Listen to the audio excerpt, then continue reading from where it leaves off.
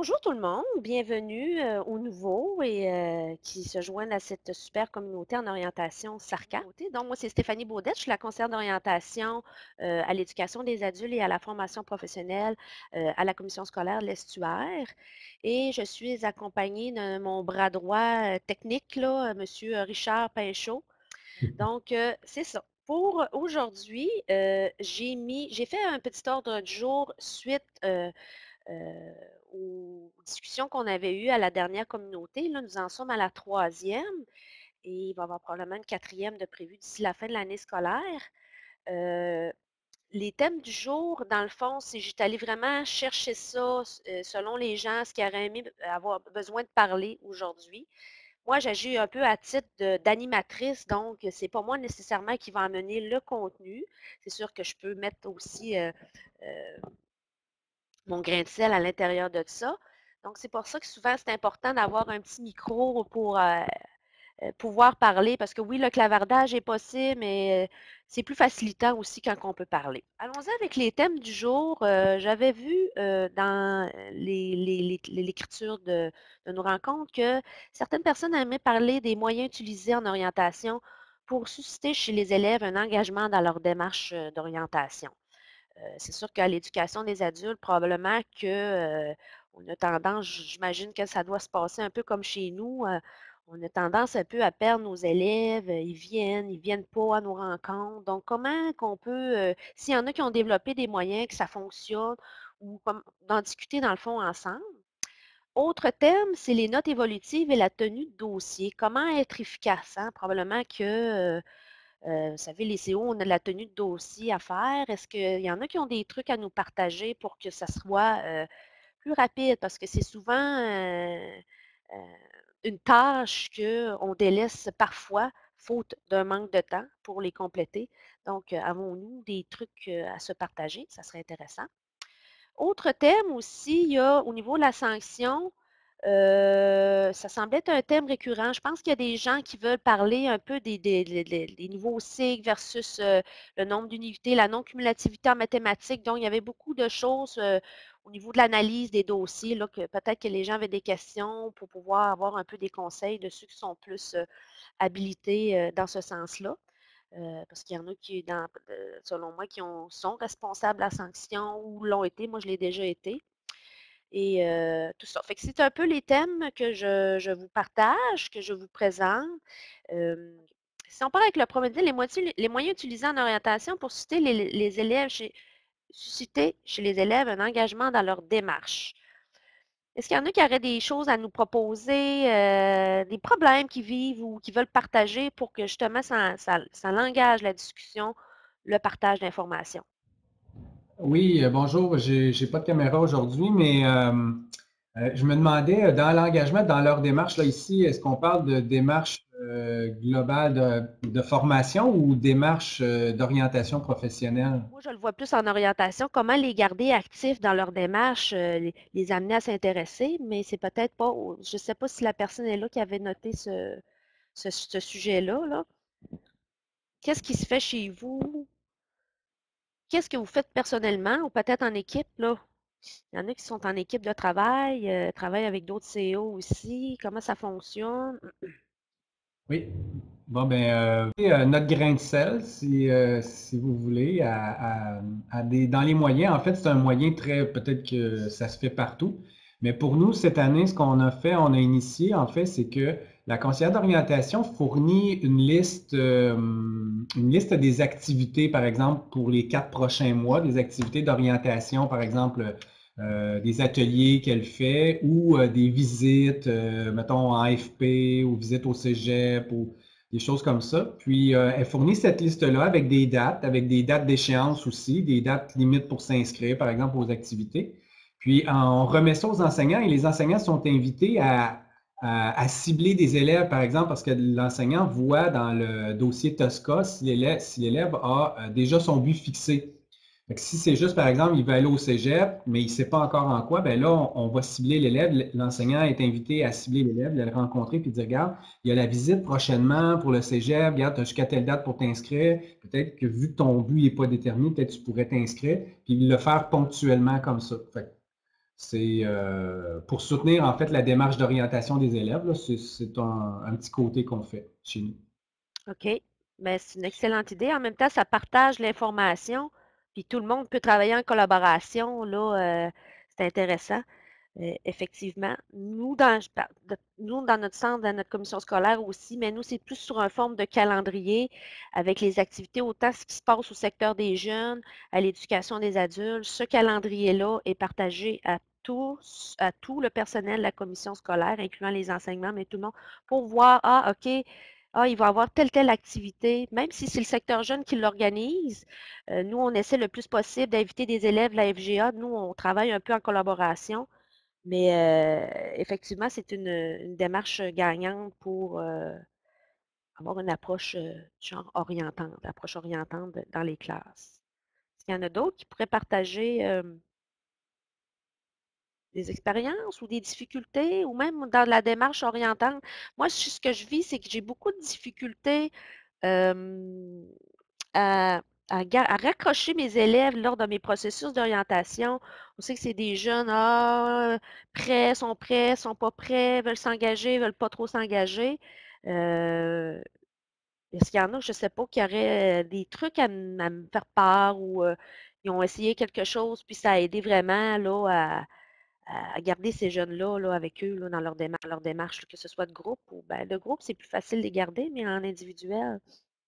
OK, je vois que Mme Arsenault euh, écrit euh, que de, notre côté, on constate qu'il faut, euh, faut multiplier notre présence, se montrer, hein, se faire connaître dans le fond. Oui, je pense que vous avez totalement raison.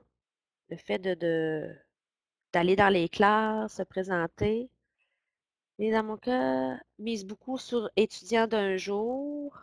Oui, il faut les relancer. Oui.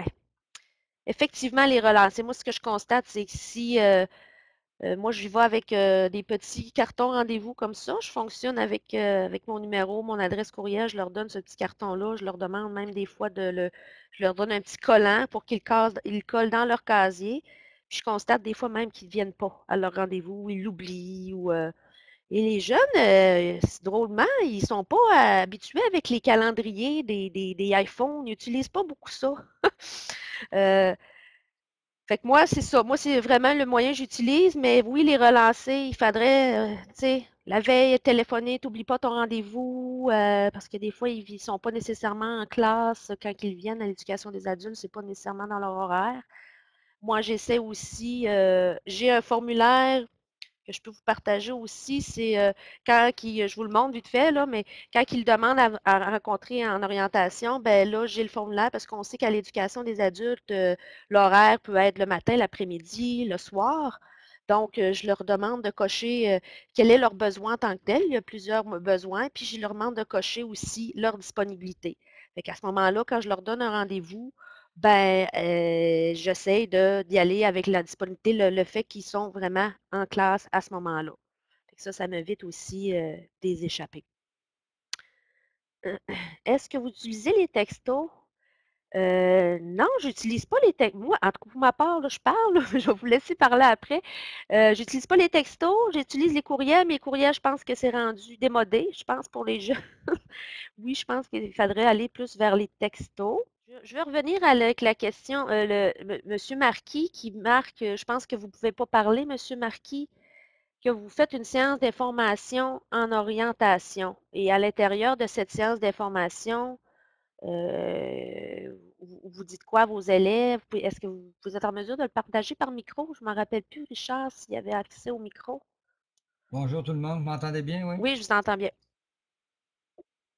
OK, d'accord. Euh, oui, chez nous, on fait une séance d'information euh, régulièrement parce que l'entrée continue chez nous. Là, les élèves, il y a beaucoup, une grosse entrée au début d'année, en, fin août, en octobre et tout ça, mais à, tous les mois, il peut y avoir des entrées. Ça fait qu'à un moment donné, on ramasse un certain nombre d'élèves, là, peut-être aux deux mois, puis on leur donne euh, l'information sur. c'est pas une démarche d'orientation, évidemment, je leur dis bien ça, mais c'est juste donner de l'information sur des sur de l'orientation qui va leur être utile tout au long de leur euh, parcours, de leur euh, cheminement chez nous, de leur, euh, leur séjour chez nous.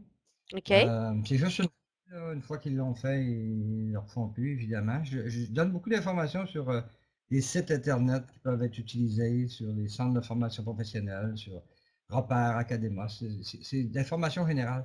On a un babillard d'informations sur l'orientation, on a de la documentation papier qui peuvent se, procurer. J'en profite pour parler d'une démarche d'orientation. Grosso modo, ça dure environ. Euh, on a déjà fait des démarches plus complètes de trois heures, mais maintenant on fait une démarche d'une heure. OK, j'en prends note. C'est une, une bonne idée, puis un excellent moyen aussi de, se faire connaître. Effectivement, puis d'avoir tout le monde, parce que faire des tournées de classe, des fois, on ne peut pas cibler tout le monde euh, nécessairement, parce qu'il y en a qui viennent le matin, d'autres viennent l'après-midi. Donc, c'est plus compliqué à ce moment-là. Il y a aussi Mme, euh, Madame Bourget euh, qui, nous disait que chez elle, les unités d'orientation qui donnent deux, qui font des ateliers d'orientation qui donnent deux unités. Et en SEF 5023, qui s'arrangeront pour AVR. OK. SEF 5023. OK. Oui. Je ne le vois pas. OK. OK, c'est des ateliers. Fait qu'il y a plusieurs ateliers au courant de l'année où ça se fait en laps de temps. Euh, c'est la question que je me pose. SEF 5023, oui, amené à changer pour. Ah oui, un VR, effectivement. Les fameux C qui vont tous changer. Hein? OK. Puis le EVR qui va vous allez, que vous allez utiliser, ça va être probablement euh, dans les quatre là, qui vont sortir. Là. Ça ne sera pas relié nécessairement à un cycle d'orientation. Deux heures par semaine pendant dix semaines. OK? Hein? Ça serait intéressant aussi de nous partager euh, qu'est-ce que vous voyez à l'intérieur de ces ateliers-là? Ben, les thèmes, là, plus les thèmes que vous, euh, vous voyez. Est-ce que c'est vous ou est-ce que c'est le CO aussi qui, a fait ces ateliers-là? Ben non, c'est en collaboration avec un enseignant? D'autres personnes aimeraient s'exprimer? Oui, vas-y, Richard. J'en profite, Stéphanie, pour inviter tout le monde le 7 mai. Il va y avoir une présentation du, du euh, programme EVR euh, dans le cadre des après-cours. Je ah! Oui. Euh, à 13 heures. Est-ce que tu pourrais mettre, Richard, le lien ou l'information dans le document collaboratif? Absolument. Parfait, parce que c'est intéressant, parce qu'on on sait que les OVR, ça peut ressembler aux anciens SEF, mais c'est toujours intéressant de savoir quel est le contenu. Et quelqu'un qui veut Oui, Madame Poirier?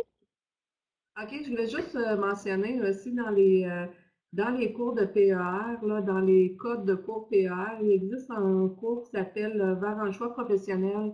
C'est le PER 5170, il donne deux unités aussi. Donc, des fois, s'il y en a qui veulent l'utiliser, ça peut être intéressant d'utiliser ce code de cours-là.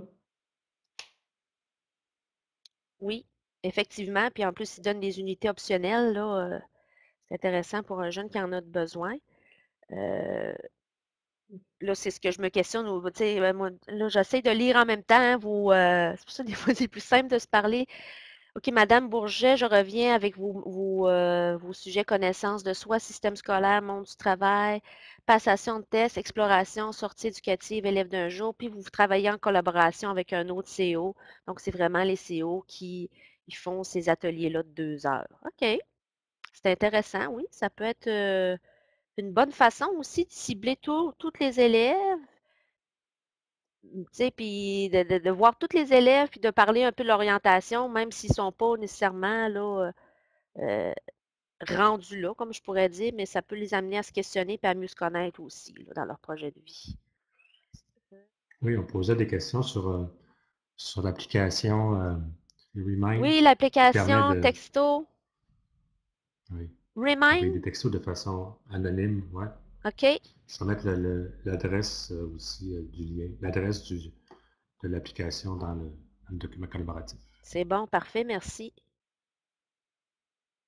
Je sais que chez nous, on commençait, quand l'élève venait s'inscrire, à demander euh, quelle était leur compagnie de téléphone, parce que ça marche-tu avec, il faut savoir la compagnie de téléphone ou tu as l'air à le connaître, Remind, Richard, là?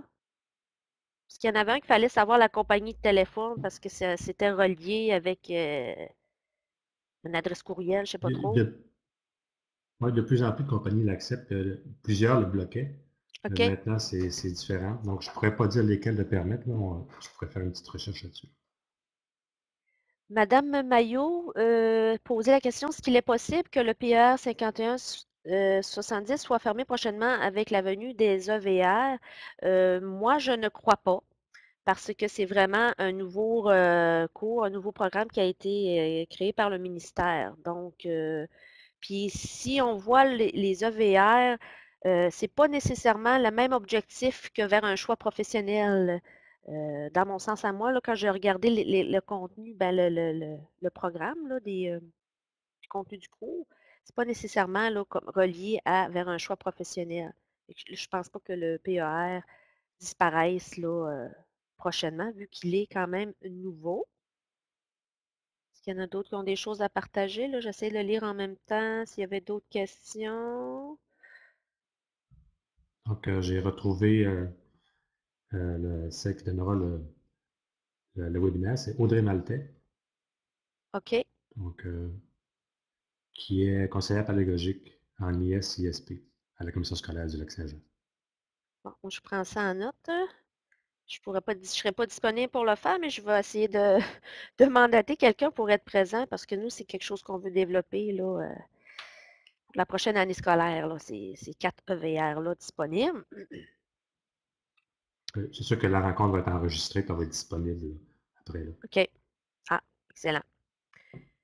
Euh, pour, le, pour le thème, les moyens utilisés en orientation, est-ce qu'il y en a qui ont d'autres questions? Ça ferait le tour. Euh, ça semble correct pour tous. Laisser un petit délai. Il faut vraiment être très à l'aise avec le silence quand on fait une animation. et, je suis dans l'apprentissage. Donc, je vais laisser quelques secondes, voir s'il y a des gens qui aimeraient euh, écrire ou dire autre chose? Ça va? Donc, prochain. Madame Bourget a une question, je ne ah. suis pas sûr que je comprends, qui demande est-ce possible de savoir ce qui se fait ailleurs? Ce qui se fait ailleurs par, par rapport à un choix professionnel, ouais, peut-être préciser votre question. Comment, comme moyen pour stimuler la participation? OK?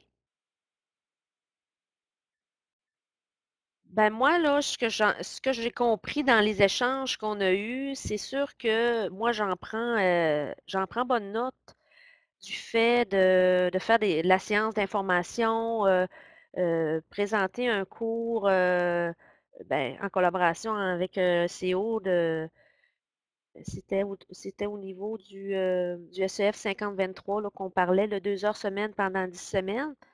Moi, je trouve que ça doit aider les, jeunes, les élèves à vraiment s'arrêter un peu là, sur OK, là, faut je me questionne sur mon orientation. Je ne suis pas prêt, mais minimalement, je peux faire des, de l'exploration, euh, je peux euh, apprendre à me connaître, etc. Moi, j'en prends bonne note parce que c'est peut-être quelque chose que j'aimerais amener chez nous. Euh, chez nous, c'est sûr que nous, on présente le cours choix de métier et euh, des fois vers un choix professionnel, on, le met en, collaboration, je voudrais dire en. Je cherche mon mot, là, mais bref, euh, c'est une enseignante qui euh, prend, utilise Enyo pour justement là, amener les jeunes à explorer. C'est sûr que c'est pas. il n'y a pas de test psychométrique qui se fait à l'intérieur de ça, mais il y a quand même une belle démarche avec Enyo. Nous, on a décidé d'utiliser Enyo pour justement amener l'élève à, se questionner sur sur un peu de tout, finalement. On va connaître le système scolaire, etc. Et nous, on le fait à l'intérieur d'un ISP, le sigle ISP, choix de métier. Je pense que c'est le 36, si je ne me trompe pas. Cours de 75 heures. Si c'était ça, peut-être simuler la participation. Ben, dans la participation, la simuler. Euh, euh, je sais pas, je la pose aussi des fois, la simuler à ce qu'ils soient présents, qu'ils s'intéressent à eux-mêmes, là, c'est. Euh, c'est parfois difficile, effectivement. Non, effectivement, le code PER 5170 ne sera pas retiré puisqu'il s'agit d'un nouveau code du renouveau pédagogique. À cet effet, je pense que probablement qu'il y en avait. Bon, on avait les notes évolutives aussi comme sujet et la tenue de dossier, comment être efficace. C'est un sujet que j'ai retiré aussi par suite euh, aux notes de, des, précédentes communautés de partage. Euh, est-ce que chez vous, ça va bien, ça se passe bien, les notes évolutives? Est-ce qu'il y en a qui ont créé des, des, euh, des outils qui pourraient nous partager pour rendre ça plus efficace, là, leur, leur prise de notes? ou que ça peut être aussi à l'ordinateur, euh, quoi que ce soit? Est-ce qu'il y en a qui aimeraient s'exprimer par rapport à ce sujet-là? J'ai une question, hein, Stéphanie. Peut-être que j'aurais une proposition suite à ta réponse. Oui. Est-ce que les notes évolutives sont partagées avec euh, d'autres intervenants? Moi, techniquement, c'est sûr que si on veut partager des notes évolutives, un dossier, il faut toujours avoir le consentement éclairé du client. Donc, euh, et ça doit être un autre professionnel qui nous demande euh, euh, cette information-là, ce, transfert de, dossier-là. Moi, à chaque fois que j'ai besoin d'avoir des notes évolutives ou le résultat d'un test, je passe directement moi-même, je rencontre l'élève, je lui explique. Et oui, ça peut arriver qu'on transfère les notes évolutives, mais c'est vraiment toujours un formulaire pour que le, client nous signe qui consent à ce qu'il y ait ce partage-là. donc, on n'utiliserait pas des outils comme euh, Microsoft, où, on utilise, par exemple, un, document qui va être partagé avec d'autres personnes, qui, est toujours à jour, en fait. Non, on n'utilise pas ça. On n'utilise pas ça, mais je ne sais pas si ça pourrait. Il faudrait vérifier auprès de notre ordre professionnel si ça pourrait se faire, par exemple, ça. Comme un document comme un document collaboratif, dans le fond, où ce que chacun des intervenants puisse avoir accès. Euh, c'est pas, euh, pas une mauvaise idée, mais ce serait une, vérification à faire. Peut-être que d'autres centres le font déjà. Euh, ce que je voulais dire à cet effet-là. Nous, ce qu'on veut créer ici, justement, on est dans, probablement, vous êtes toutes là-dedans dans les projets éducatifs. on aimerait créer vraiment un document qui fait mention d'un passage FGJ, FGA, FP collégial, où ce que ce document-là, on sait tout ce qu'on a à faire, chaque intervenant de l'école, on a des moments de rencontre, où ce que là, c'est ça, les formulaires sont signés, fait qu'on veut vraiment monter un genre de, comment je pourrais dire ça, de, de, de, de documents, là, de clés en main pour permettre justement une transition efficace euh, quand l'élève s'en vient chez nous, quand après ça, il part, ben, continuer à être là quand même l'accompagner. Est-ce qu'il y en a dans les, dans les écoles qui ont déjà ce genre de, de document-là de transition, de passage? Nous autres, on l'appelle le passage, là, un passage vers la FGI, FGA, FP collégiale. L'autre côté, dit qu'elle utilise une base de données informatisées. je retourne en arrière. OK, oui, j'utilise une base de données informatisée pour la prise de vos notes évolutives et non pas euh, pour le partage euh, d'informations. Nous, on utilisait aussi Tosca, qui va t'amener à être changé probablement, mais au niveau de l'orientation, moi, je ne mettais pas euh, des, éléments à l'intérieur de ça, mais quand même, l'enseignant pouvait savoir, OK, il est en orientation, il est suivi. quand on réussissait à trouver le le choix de métier ou le choix de profession d'un élève, je l'inscrivais à l'intérieur de ça pour que les enseignants sachent, OK, il y avait une alerte, ah, OK, cet élève-là, maintenant, sait c'est quoi son objectif, ben on va, on va l'encourager dans ce sens-là, toujours en la ramenant vers son objectif professionnel. Si on utilisait ça, Tosca, ça s'appelait, mais là, je pense qu'il va t'amener à changer pour l'UMIX. Là, on est en... Mais il faut toujours faire attention des informations qu'on met à l'intérieur de ça, bien entendu. Là. Oui, il y a un certain, OK, il y a un certain partage d'informations quand vous parlez de base de données informatisées, mais il y a une partie confidentielle. ça, ça doit ressembler un peu comme euh, je parlais du, de Tosca, où est-ce qu'on peut mettre des, choses? Donc, euh, nous, notre base de données, euh, c'est seulement les professionnels qui l'utilisent dans le centre. D'accord. Puis l'élève, dès son entrée dans le centre, est informé qu'on utilise une base de données. Puis il signe une autorisation si euh, il est d'accord. Puis il y a certaines informations que l'on partage entre professionnels, mais juste pour dire qu'on a rencontré l'élève, pour que les autres professionnels sachent qu'il y a une démarche d'entamer. Et il y a une partie aussi pour nos notes évolutives confidentielles que les autres euh, intervenants ne voient pas. Donc, j'ai tout le dossier de l'élève euh, dans ma base de données. Donc, puis je peux voir s'il y a des démarches qui sont faites avec les autres intervenants de l'école. Puis je les utilise aussi pour mes notes euh, évolutives, donc c'est très efficace. Oui, effectivement. C'est quoi le nom de, cette base de données-là? C'est ben, on l'appelle la base de données SARCA. Elle a, été développée au Saguenay-Lac-Saint-Jean. C'est les quatre commissions scolaires du, du Saguenay-Lac-Saint-Jean. On l'a développée euh, ensemble, mais on a chacune nos bases de données, euh, les quatre commissions scolaires distinctes. OK. OK. Ben, je prends votre nom en, note pour peut-être euh, aller voir éventuellement, là, euh, en jaser plus avec vous parce que je trouve ça intéressant, pareil, qu'il oui. c'est efficace aussi en même temps, là. Euh,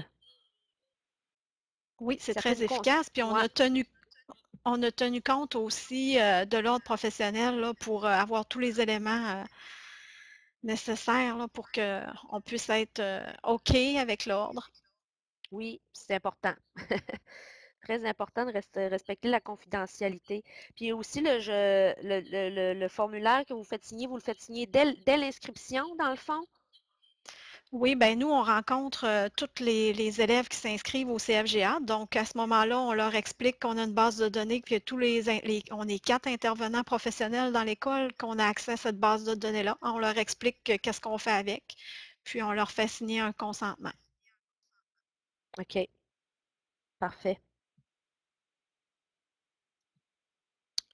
Je prends note. Ben, merci de ce partage.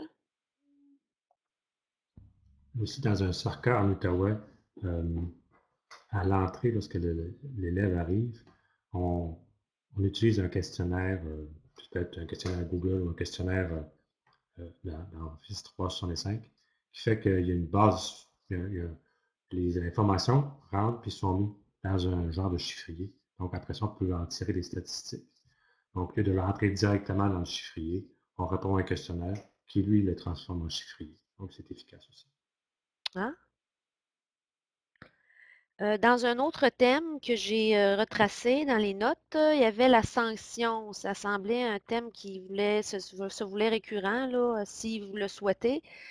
Peut-être ils ont beaucoup de questions par rapport à ça et on sait que probablement il y a quelques-uns parmi nous qui ont été responsables de la sanction qui peuvent nous aider aussi. Euh, partager des questionnements ou l'information. Ce que j'avais retracé dans la dernière rencontre, c'était la non-cumulativité en mathématiques. Euh, je pense que la personne qui avait écrit ça, ça j'avais l'auteur n'est pas présent, ou s'il y en a qui ont des questions à ce sujet, là, je vous invite à nous en faire part.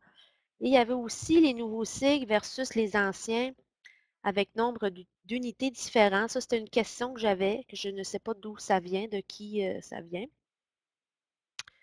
Et euh, c'est ça. Parce qu'il y en a qui ont des questions par rapport à la sanction, qui euh, sont pris avec des fois, là, des fois ça m'arrive au niveau des, les mathématiques, quand on regarde le guide de conditions d'admission collégiale euh, versus les mathématiques, ceux qui ont fait ça dans l'ancien, je me questionne souvent, bon, ben, j'y fais faire quoi? Faut-tu que je fasse passer le, le, 426 dans nos anciens termes ben, avant de passer au SN? Là, on est tout le temps en questionnement par rapport à ça. Sauf que moi, ce qui m'aide énormément et euh, ce qui m'a aidé aussi, c'est quand j'ai participé au comité de partage dans toutes ces matières-là, euh, puis euh, les notes sont toutes accessibles. Souvent, je les ai faites imprimer. Je me réfère aux notes parce que ces questions-là euh, ont été déjà amenées. Et c'est bon, c'est un bon refresh là, pour dire Ah oui, c'est vrai, c'est ce que les gens pensent. Et souvent, il y avait des réponses aussi provenant des, du ministère directement. donc, les, communautés de partage en mathématiques, en sciences, m'ont beaucoup aidé là, par rapport à ça. Fait que je vous invite peut-être d'aller des fois consulter là, les, du moins les notes, là, euh, il y, a beaucoup d'informations pertinentes. Est-ce qu'il y en a qui ont des questions par rapport à la sanction? Je peux ajouter un détail, Stéphanie. Tous les documents collaboratifs sont disponibles sur le site des après-cours. Donc, dans la colonne de droite, il y a un listing de toutes les communautés. Et lorsque vous, Donc, vous n'avez pas besoin de vous abonner au, au, forum de chacun, chacune des matières ou des communautés. Donc, tous les documents sont disponibles directement sur le site des lettres Oui, puis à, cet effet, je voyais dans les dans les documents pour prendre mettre les présences qu'il y en a qui aimeraient faire partie de est-ce qu'il y en a? Non, je l'avais pas. Je l'avais posé la question s'il y en a qui connaissaient Moodle parce que c'est un peu le, le, le, le, je ne vous dirais pas le logiciel, mais en tout cas le, le, moyen pour avoir accès à toutes ces communautés-là, Moodle FGA. Donc, ceux qui ne sont pas abonnés, ne connaissent pas, ben, peut-être me le mentionner euh, en, dessous de votre présence dans le document. Et moi, je vais faire en, sorte de, de euh, avec monsieur euh, Lavoie, Stéphane Lavoie, qui vous inscrive, qui vous donne l'information pour justement vous ayez accès à toutes les communautés là, de, de partage. C'est bon. Donc, des questions sur la sanction, genre, est-ce que je vois... Bon, le, le cycle de biologie, oui. Selon mes dernières informations, le MES avait entre autres l'intention de former les cycles de biologie et de sciences physiques en juin 2019. Est-ce que vous savez si cela est toujours le cas? Moi aussi, je me, questionne là-dessus. Est-ce qu'il y en a qui auraient une réponse? Ben, d'après le dernier, euh, dernière rencontre Sciences et technologies, euh, c'est vrai. Donc, si vous voulez faire changer ça pour permettre la, tenue des, cours d'été, il euh, faut faire des pressions auprès du ministère. Donc, passez par votre direction qui va demander que la date soit repoussée au moins jusqu'à la fin des cours d'été. c'est la même chose pour les mathématiques. Donc, c'est la même, situation.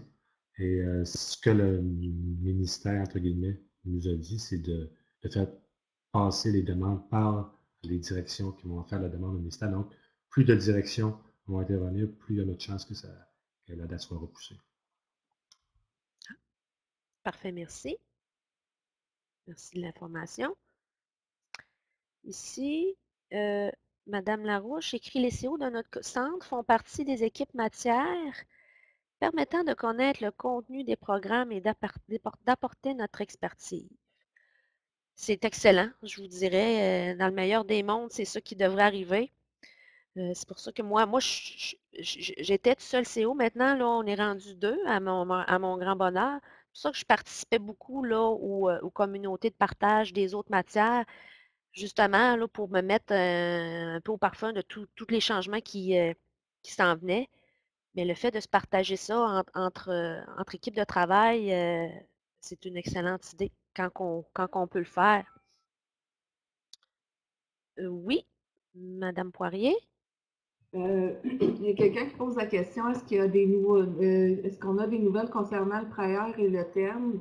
Moi, je sais que le, ministère va faire des fait des journées d'information sur tout ce qui est la reconnaissance des acquis. Puis le 7, le 7 mai, il y en a à Québec, il y en a à Montréal, il y en a dans dans différentes, euh, dans différentes régions. Donc, tout ce qui est reconnaissance des acquis vont être nommés à cette rencontre-là, cette journée-là. Donc, c'est le temps encore de s'inscrire sur le site euh, du Carrefour FGA. Euh, on peut s'inscrire pour aller chercher, pour assister à ces rencontres-là. Oui, merci de l'information. effectivement, le 7 mai, c'est là que je serai à Québec pour cette rencontre d'information-là. Euh, j'ai bien hâte d'hier de, savoir euh, quels sont les, développements là, par rapport aux fameux TENS et euh, au prior learning. Donc, et je ne savais pas que c'était accessible encore sur le Carrefour FGA, donc merci d'avoir donné l'information à tous. Et il y a le 9 mai à Saint-Eustache de Mme Ayodi et le 10 mai à Montréal. Donc, pour Mme Larouche qui se questionnait, on n'en a pas vraiment des nouvelles, mais on va en avoir prochainement. OK. Dans, le dans l'ordre du jour, il y avait aussi l'information partage d'outils et de bons coups. Moi, comme je vous disais, là, ce que je vous ai montré tout à l'heure, mon service d'orientation, le nana, je peux, je vais le déposer aussi sur le sur le document collaboratif parce que c'est intéressant quand on a des outils à partager, que ça soit accessible rapidement, puis que dans le fond, là, On n'a pas à faire 56, 56 appels pour avoir le document. Fait que moi, ça va me faire plaisir de le partager. S'il y en a qui voudraient aussi euh, offrir euh, un document, partager un document en toute, euh, en toute conscience de cause, donc c'est intéressant également. Mais on sait qu'il y a plein de sites Internet où on voit des documents, là, choix à venir, toutes les CO, là, on a beaucoup de, de choses disponibles qui nous permet là, d'avoir parfois des clés en main qui nous fait énormément sauver du temps euh, quand on veut euh, développer quelque chose de nouveau dans nos centres. Et j'avais également un sujet, qui revenait euh, dans les notes, l'analyse des dossiers académiques. Est-ce qu'il y a des personnes, moi je ne sais pas qu'est-ce qu'est-ce que ça voulait dire exactement, quel était le besoin exact. Je l'ai ramené parce que il a été nommé, je pense, deux fois ou même dans le sondage aussi, j'y vois avec les éléments du sondage et les thèmes du sondage qui ont été nommés. Euh, Est-ce qu'il y en a qui ont des questions par rapport à ça ou voudraient s'exprimer par le, sur le sujet de l'analyse des dossiers académiques? Oui, euh, j'ai amené ce sujet-là, entre autres. Oui. Donc, je voulais savoir, euh, euh, dans les autres commissions scolaires, comment ça se passait. Moi, je pense que c'est un job très technique, un travail très technique. Euh, ça pourrait être fait par un technicien en organisation scolaire ou autre euh, membre du personnel. Et euh, en tout cas, je veux sonder le terrain aussi. Je vais laisser les gens s'exprimer. On voit que Mme Arsenault dit chez nous, la tâche est partagée CO et CFS, conseiller en formation scolaire. Même chose pour Mme Maillot. Euh, moi, pour ma part, chez nous, euh, c'est moi qui s'en occupe. Ça a toujours été moi. Et dans ma commission scolaire, c'est euh, ça l'appartient parce que nous, c'est une grande commission scolaire. On a plusieurs centres, mais ça appartient au CO. Effectivement, c'est une tâche qui, qui demande beaucoup de temps, qui nous enlève du temps d'élèves, de service à l'élève, bien entendu. Euh, puis quand on n'est pas responsable, moi j'ai déjà été responsable de la sanction des études, c'est facilitant aussi quand on est responsable, mais quand on ne l'est pas, il faut faire l'analyse, je comprends que c'est très exigeant, là, parce qu'il y a beaucoup de choses à connaître, beaucoup de choses à savoir pour ne pas se tromper. Euh, mais je comprends un peu, mais moi, j'ai toujours vu que c'était des CO qui s'occupaient de ça, autour de mes commissions scolaires, en tout cas, la commission scolaire du fer également et de l'estuaire, c'est comme ça que ça se passe. Madame Bourget mentionne aussi que de notre côté, c'est toujours les CO qui font l'analyse des dossiers aussi. Et nous croyons que c'est important que ce soit un CO qui s'en occupe, ainsi que pour tout le suivi en formation et en orientation effectivement, c'est sûr, c'est comme connexe. Hein. Si on est au courant, on fait le profil de formation de l'élève, on est au courant de qu'est-ce qu'il a vraiment besoin en fonction de son objectif professionnel, d'aller chercher l'éducation des adultes, parce que c'est pas juste nécessairement, tu as besoin de faire cette matière-là, mais tu as besoin de faire tel, tel sigle, parce que tu as fait déjà telle, telle chose. Donc, c'est important aussi de, le savoir. Là. Oui, Madame Côté a oui. la parole aussi. Oui, alors nous, à la, commission, à la commission scolaire de la Jonquière, c'est des CO aussi, que ce soit en formation professionnelle ou en FGA. Donc, moi aussi, je trouve ça important que ce soit des CO euh, qui fassent euh, ce travail-là. D'accord, oui. Mais c'est vrai que c'est une grande partie de notre travail euh, qui, nous, qui nous enlève vraiment le temps là, de faire l'orientation individuelle ou l'orientation de groupe, là, parce que ouais, c'est une, grande partie de notre tâche. Oui, effectivement, là, il y a, bien d'autres choses qu'on pourrait faire. Mais euh, je pense qu'on était attitré à ça dès le départ, ça fait longtemps. Mais c'est sûr que c'est comme euh, Mme Côté le disait, l'un ne va pas sans l'autre, on dirait, effectivement. Autre chose sur l'analyse des dossiers académiques, ça répond. Euh, je voudrais aussi vous faire part peut-être de, la prochaine communauté. Euh, euh, ce que j'avais ciblé comme date, c'est sûr que j'essaie de voir un moment où il y a, le, congrès, les, les colloques, là, qu'il y, en a souvent en juin. je voulais voir avec vous si le 18 juin, ça pourrait être une date là, possible pour vous. Et je voudrais aussi faire part du fait que dans le document de collaboration, là, de, document collaboratif, parfois on travaille, puis oh, il y a une question qui nous soulève, ben peut-être d'aller la, mettre tout de suite, cette question-là, dans le document collaboratif, et comme ça, ça nourrit un peu, ça peut nourrir aussi nos prochaines rencontres. Parce que moi, je vais vraiment aller encore avec des sujets qui ont été sortis au niveau du sondage on aimerait discuter. Et si aujourd'hui, vous aimeriez parler de, quelque chose qu'on n'a pas parlé, qu'on n'a pas touché, bien, ce serait peut-être peut-être, vous pourriez peut-être me le dire à ce moment-là, que j'en prenne note et qu'on on fasse un retour là-dessus à notre prochaine communauté. Donc, mes deux questions sont, est-ce que le 18 juin, ça paraît une date correcte pour vous?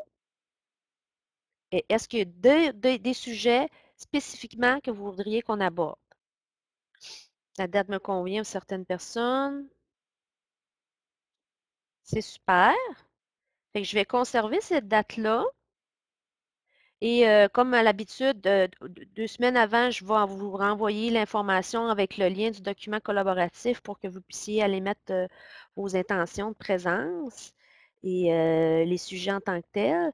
Je vous rappelle que M. Richard va mettre le lien dans le document collaboratif vers l'enregistrement de cette vidéo-là et également là, la partie toute clavardage, parce que là, il y en avait beaucoup là, qui n'avaient pas accès à un micro. Donc, euh, beaucoup de choses ont été partagées euh, dans le clavardage que j'essaye de voir en même temps. Désolée si des fois j'en ai échappé, mais que Richard semble quand même là, me rattraper là-dessus. Ben, merci beaucoup à tout le monde. Fait que je vous souhaite euh, une bonne après-midi ensoleillée si c'est le cas pour vous. Bye!